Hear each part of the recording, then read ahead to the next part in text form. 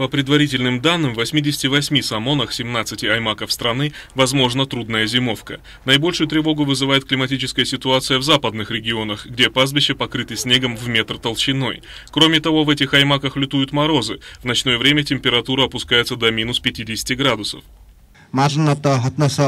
Скотоводы изо всех сил стараются. Силами людей к отдаленным северным самонам проложены дороги, доставляются комбикорма. Но помощь нужна, мы благодарим за нее всех.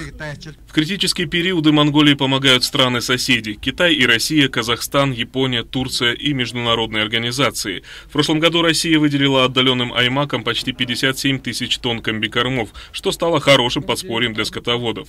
А нынешнюю зимовку поможет пережить дружественный Казахстан, который выделил полторы тысячи тонн кормового риса. Для отрезанных от цивилизации аратов это стало ценным подарком.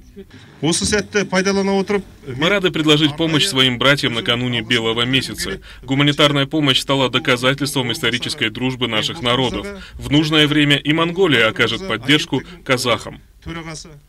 88 крупногабаритных автомашин, груженных рисом, отправились сегодня в путь. Бацуиру предстоит самая длинная дорога до Эмака-Баян-Улги. Для дальнобойщиков самое главное – надежность машины и хорошее техническое состояние. От самих водителей тоже зависит многое. Необходимо уметь выходить из любых ситуаций. Бацуур крутит баранку уже 27 лет, поэтому хорошо подготовился к дальней поездке. Самое главное в зимнее время не простудиться, поэтому он при себе всегда держит топленое масло. На улице очень холодно, но дорога сама по себе хорошая. По сравнению с прошлым годом морозы сильнее, но дороги не замело. В прошлом году падеж скота по стране составил почти 10 миллионов голов. Общий ущерб составил 534 миллиарда тугриков. Это стало горьким опытом для государства и самих скотоводов. По сравнению с прошлой зимой сегодняшнее положение не вызывает больших волнений, однако особая комиссия начала принимать меры по увеличению объемов кормов и их хранилищ. Мы организовали работу по увеличению запасов комбикормов во многих аймаках до 600 тонн. По приказу правительства Управление по чрезвычайным ситуациям сформировало запасы кормов.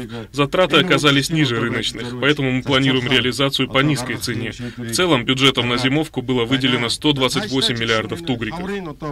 Из-за климатических условий в некоторых аймаках страны происходят перебои с электроэнергией. Самон Хатанбулак остался без электричества, поэтому было решено доставить на место дизельные станции.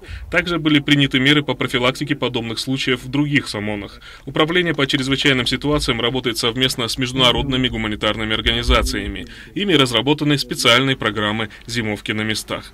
Тумурачир Станислав Хазагаев, Нямбаяр, Аист Монголия.